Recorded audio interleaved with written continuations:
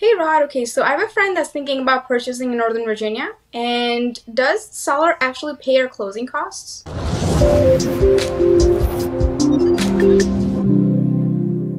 Hello and welcome to Ask the Lender. My name is Rod Ferrier. I'm a licensed loan originator as well as a U.S. Navy veteran? Hey, Kris, that's a good question. And the answer to that is it really depends on which type of market that we are in and also the condition of the home and the ability to negotiate with the person selling the property. Currently, we are in a seller's market. So finding a property that the seller are willing to pay all or a portion of the closing costs is going to be difficult to do. So sometimes you can find a property that needs extra work and the seller is going to be willing to negotiate that with you. If and when the market does shift to a buyer's market, meaning home values are starting to come down a little bit or stabilize, and the amount of inventory, homes on the market being able to be sold increases, uh, then that puts the buyer in the driver's seat. And the seller may have to pay a portion of those closing costs in order to find a home.